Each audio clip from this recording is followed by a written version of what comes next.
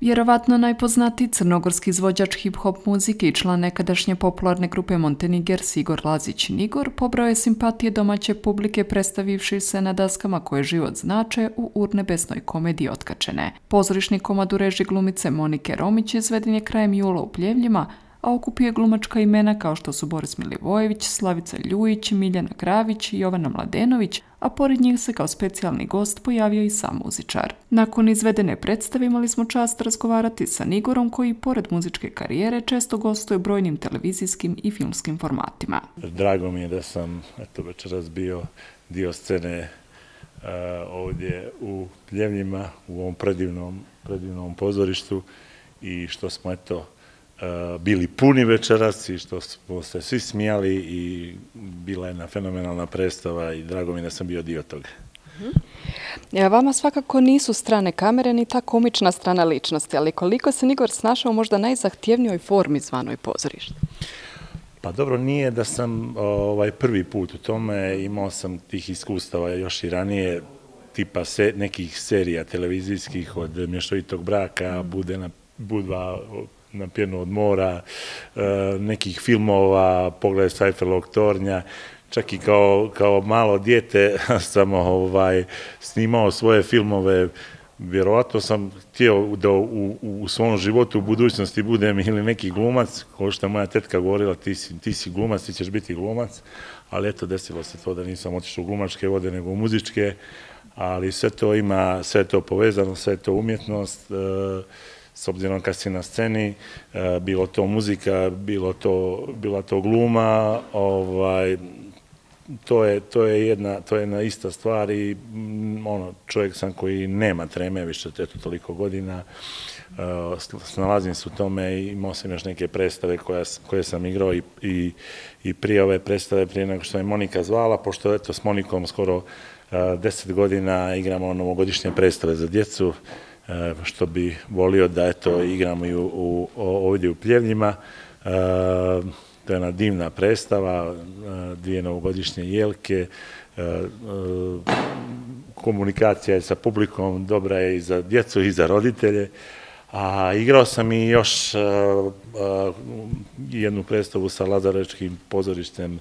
dok bude love, bit će i pare, na komedija, nego eto, sticajem okolnosti ne mogu da budem na hiljadu strana zbog mog posla, pa imam tu nekad neke zamjene,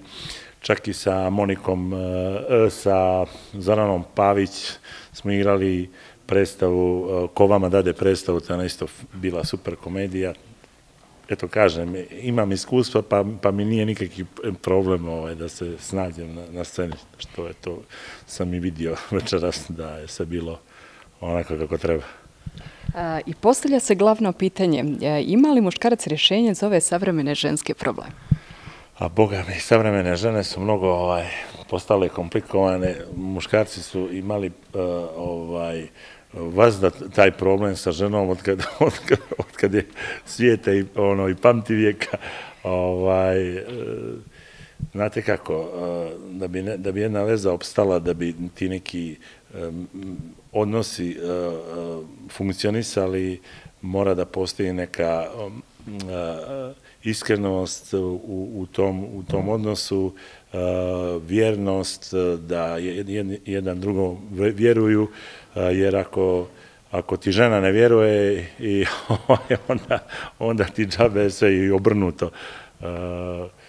Druga su vremena, drugi su neki principi, generacije su potpuno drugačije, sve to ovaj, malo otrišlo na neku negativnu stranu, vidimo dosta tih e, brakova koji su započeti pa nisu se ni, ni završili. U, prvoj godini, dosta mojih prijatelja, a i boga mi i ovih starijih su se ovaj, nisu, nisu izdržali, do, izdržali do kraja, što je to ovaj, jedna ružna stvar zbog eto samo zbog djece zbog onih ljudi koji imaju djecu jer djeca najviše pate i e, kažem mora postojati ta neka vjernost međusobna iskrenost bez toga ne može na veza da funkcioniše mhm. e, Znamo da komedija nije lagani žanr, kako mnogi misle. Smijeha nekako sve više falija i ljubavi. Je li takva situacija i sa dobrom pjesmom? Pa jeste. Ovaj, to što kažete, najteže je igrati komedije, najteže je ljude zasmijati i praviti te tekstove koje to ljude ovaj, zasmijavaju. Sad ne, ne pričamo tipa neke te zgaroške ove, predstave e,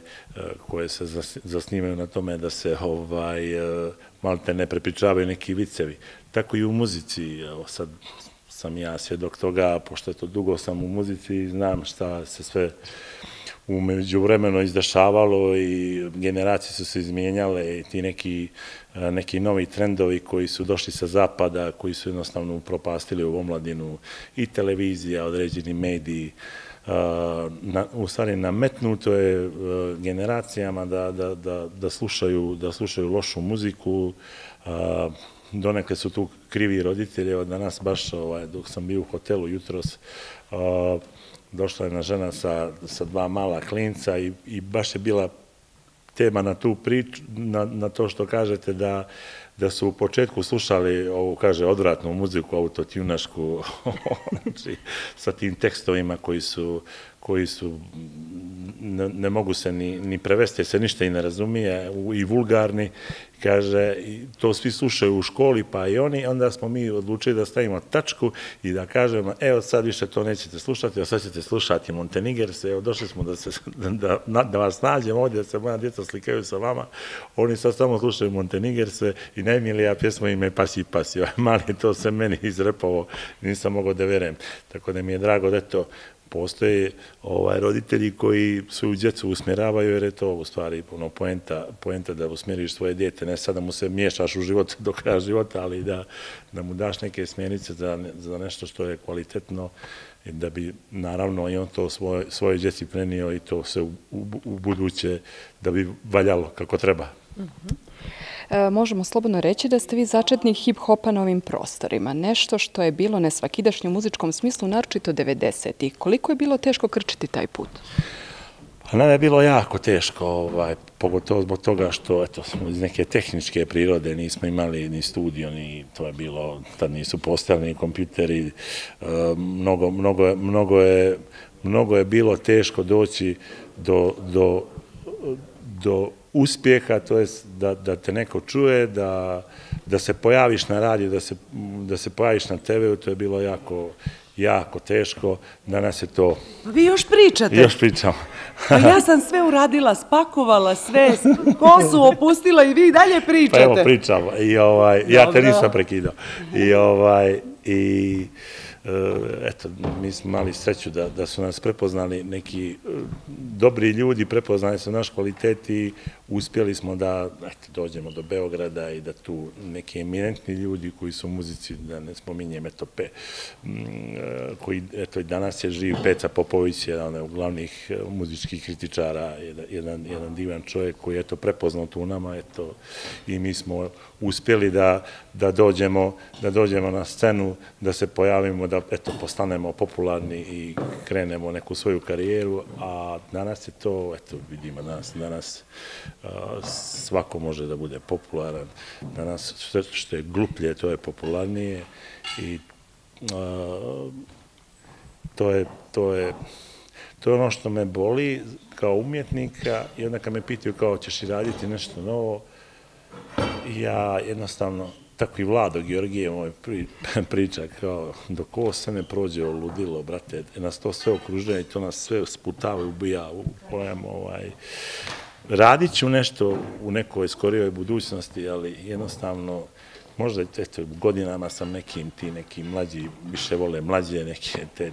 ovaj, klince, i, ovaj, ali dobro, ima publike koja me sluša, tako da ne brinem o tome. Eh, kad smo kod drugačijeg, je li poželjno biti takav kako na sceni, tako i u životu, po vašem mišljenju? Pa on ima onaj stih Montenegersta, uvijek sam isti na nebu i na pisti i bit ću takav dok me starost ne počisti. Ja se, ja sam, ja se ništa promijenio, nisam, mene to slava i mislim, ima tu postoji neki teret, ali ja jednostavno to godinama sam to iskulirao i o, e,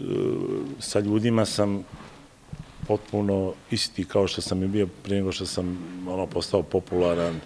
Meni nije problem da se slikam sa ljudima, da meni u stvari to i, i prija, zato što to i njima prija. ne želim da nešto ljudi priča o meni da sam nadobudan, da sam ono, idem ulicom dignutog osa, da, sam, da me ubila slava, daleko bilo. Ovaj, u suštini najviše bi volio da, da se opet vratimo u onaj period prije svega ovoga, jer ovaj,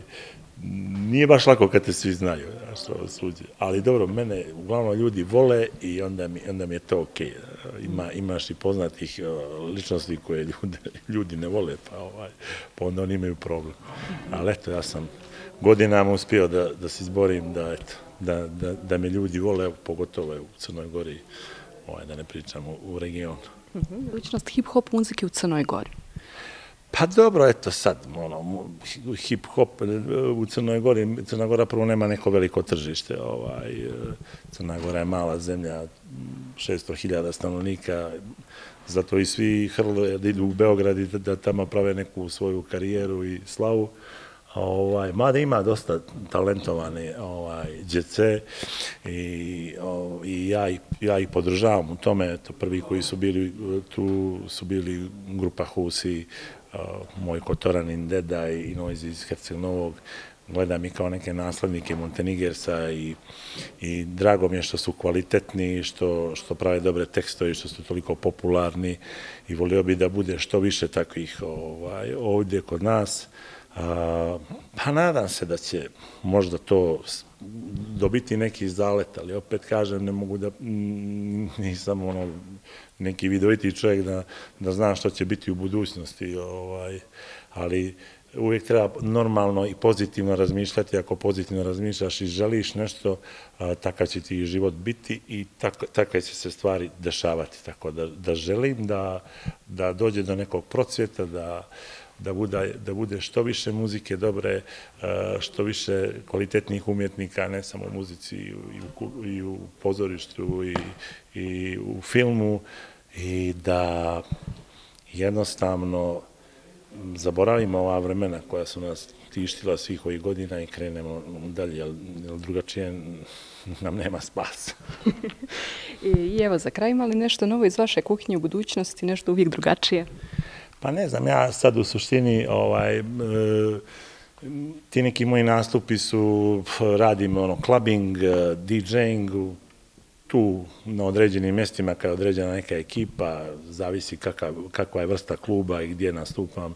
tu se uvijek ubace i Montenegersi i neke nove stvari. Ovaj,